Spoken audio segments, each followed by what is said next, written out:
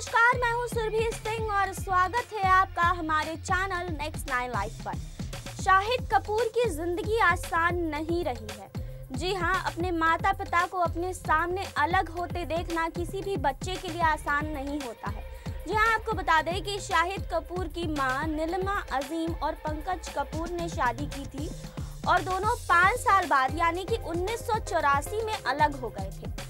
शाहिद कपूर उस समय महज तीन साल के थे। एक छोटे से बच्चे के लिए ये देख पाना काफ़ी मुश्किल होता है कि वो अपने माँ बाप से अलग हो जाए। लेकिन पंकज कपूर ने काफ़ी अच्छी तरीके से शाहिद का पालन पोषण किया। जी हाँ शाहिद ने ये बात खुद बताई थी कि हमारी चीज़ों को नॉर्मल करने में हमारे पापा का बहुत बड़ा हाथ है। मेरे पापा ने मेरी बहुत मदद की है।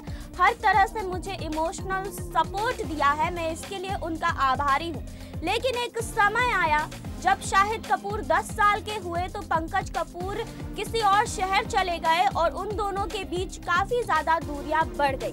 लगभग 8 साल की दूरियाँ बढ़ गई जब शाहिद कपूर 18 साल के हुए तो इन चीज़ों को फिर से नॉर्मल करना बहुत मुश्किल था शाहिद कपूर के लिए भी और पंकज कपूर के लिए भी। लेकिन पंकज कपूर ने काफ़ी अच्छी तरीके से सारी चीज़ों को संभाला, क्योंकि माँ बाप से अलग होना एक बच्चे के लिए बहुत मुश्किल होता है। जी हाँ अपने बच्चे को फिर से उस माहौल में लेकर आना बहुत मुश्किल होता है, लेकिन पंकज कपूर ने कहीं भी से हार नहीं मानी और फिर से शाहिद कपूर के साथ वही नॉर्मल बॉन्डिंग उन्होंने शेयर की, उन्हें असिस्ट करना स्टार्ट किया और फिर शाहिद कपूर ने फ़िल्मों में कदम रखा और आज वो इतने बड़े सुपरस्टार हैं। जी हाँ आपको बता दें कि पंकज कपूर ने कहा कि जब हम दोनों एक साथ एक ही फ्लैट में रहने लगे तब हमारे बीच नजदीकियाँ बढ़ी और आज हम काफ़ी अच्छा बॉन्ड शेयर करते हैं।